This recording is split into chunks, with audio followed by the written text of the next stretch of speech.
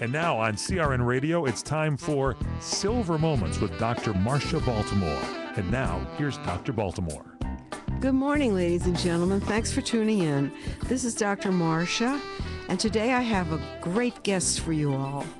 Get prepared to call us up later, but for the time being, his name is Mr. Shalom Katz, and he's an attorney for trusts and estates. And we want you to meet him. Mr. Katz, hello. And good morning, Doctor. How are you? Nice that- that you agreed to come here and help us out learn about it. My pleasure. I have some questions. Is it okay if I ask you some questions? Go right ahead. Okay. I want to know in the first place how do I know I need a trust? Well, you got to do an analysis of what you're worth.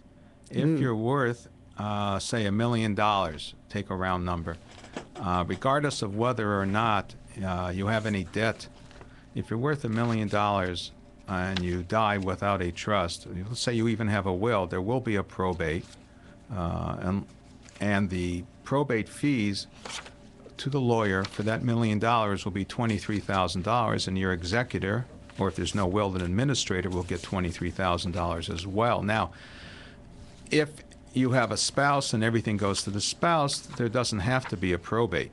But if it's going to kids, uh, let's say you have a second spouse and you don't want the spouse to get everything, you want it to go to your children, you have to plan in advance. And these are pretty hefty costs. Even a $100,000 probate, you're looking at paying $4,000 in legal fees right off the top, plus the court costs, whatever they might be.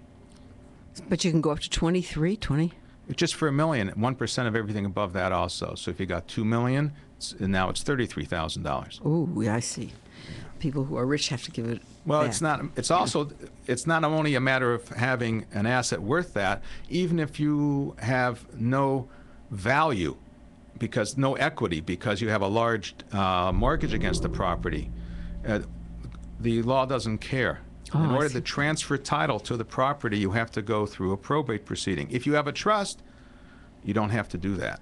It's automatic. It's automatic. It's The owned trust by- owns the property? the Is that trust- how it's- Well, the trustee, who's a fiduciary, owns the property, and upon the death or the uh, inability to act because they're uh, dement- suffer from dementia or some other issue, or they're physically too ill, they're in a coma. There's the trust has a procedure for someone to immediately take over without court supervision.